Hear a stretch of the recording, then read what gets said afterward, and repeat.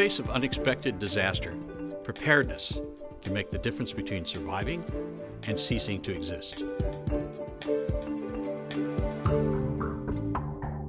The speed with which an organization is able to get up and running after a disaster often determines the impact of that disaster on its bottom line.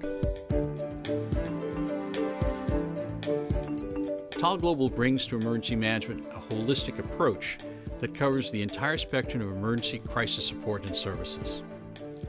From researching, analyzing, and creating a crisis management plan, through ensuring the crisis readiness of your organization through exercises and drills, to working with you to facilitate recovery in a way that's in line with your organization's culture, environment, and specific circumstances.